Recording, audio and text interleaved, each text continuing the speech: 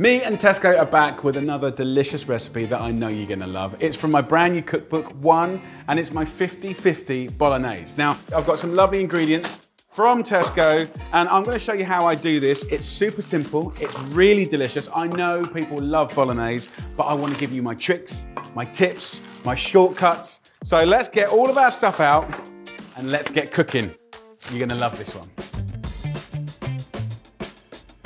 So this comes from a chapter in the book called Batch Cooking, and I really believe in batch cooking for saving you time in the month coming up, saving you money, uh, and just being really convenient. Making a big old batch of something, you get extra flavor as well. So let me talk you through these ingredients. First up, a product that I really, really like that you'll get in store is the meat and veg. So this is a brilliant little healthy swap. You know, carry on cooking the things that you always have done, but just get this product, you're getting the veggies in there, and I really like this. I think this is clever. Meatballs, patties, meatloaves, bologneses, ragus, fantastic. So look out for that.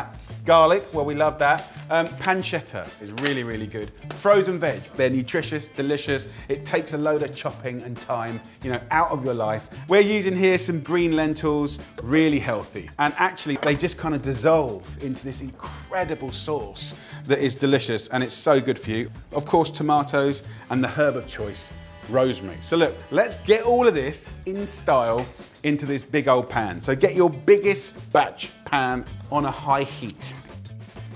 So with the pancetta, I'm just gonna take like six thin little rashers like that, slice this up, a nice lug of olive oil into the pan. We're gonna begin the story with the pancetta, right? It's smoked, it's savory, it's delicious. You can smell the smokiness, really, really nice. Get that smoky pancetta golden.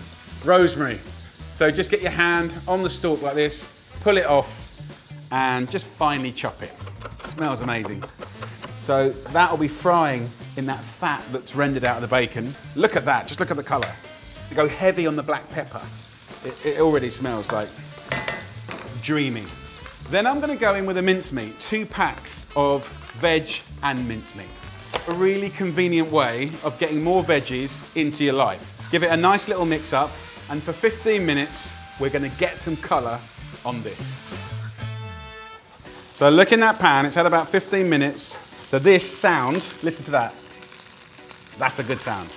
The amount of people that I've seen rush like getting the mincemeat in, getting the wet tomatoes in, and it's just kind of this blonde, bubbling, nice thing, but it's never genius, right? So this colour is gonna help us get to genius. As that's kind of getting to that point, now I'm gonna peel and finely slice eight cloves of garlic. That's gonna give it that incredible flavour. So now we're gonna go in with the garlic. Oh, the smell. Now, let's talk veggies. Frozen base vegetable mix. It's fantastic. I love having some of these in the freezer for when I'm just cracking on with stuff. So um, frozen veg, super nutritious, no compromise. You haven't got to do any of that peeling, any of that chopping. So this is super, super convenient. And even if you just want a handful, you can put it straight back in the freezer and you waste nothing.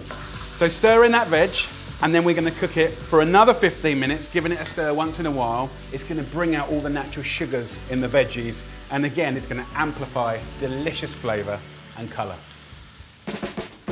So once you've got that gorgeous golden color out of the veggies and the mincemeat, little secret ingredient, balsamic vinegar. So just put a nice little swig in there, let it cook away.